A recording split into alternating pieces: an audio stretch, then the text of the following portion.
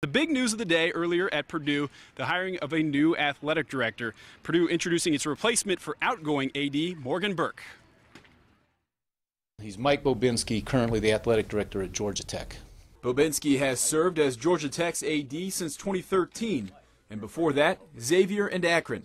As a Notre Dame grad, he listed a love for Indiana and the Midwest as a reason the Purdue job was attractive. But most importantly, I look at this as a really unique situation where you've had this incredibly stable leadership. You've got a program that's very, very well managed but I believe is sort of in the starting blocks, you know, just positioned in a way to really take off. Chairman of the Board of Trustees, Mike Berghoff, says initially he had a list of more than 50 names under consideration for the job.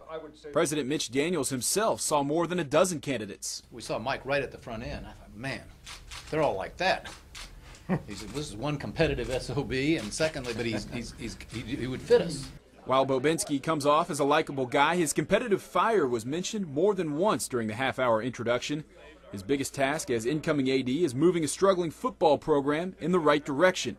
While he acknowledges there's no easy way to turn things around, there's a number of factors he'll consider. Is there a sense of direction? Is there, is there a, can you see ahead to a better day? Is there sort of a building block in place or a, a, a sort of a set of building blocks in place that you can logically assume are going to lead to greater success?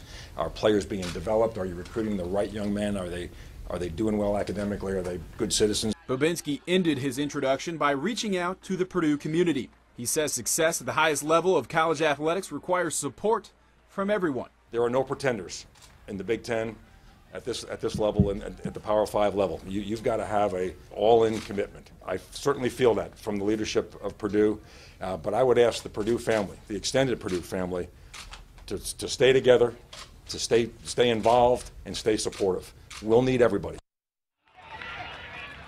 Now, President Daniels declined to share the specifics, uh, the specifics of Bobinski's contract, only saying that he signed a multi-year contract and that that contract would be in the top quartile of his peers as Division One athletic directors. Now, Bobinski has some loose ends to tie up at Georgia Tech, but he expects to be in place at Purdue by the Boilermakers' first home football game on September 3rd.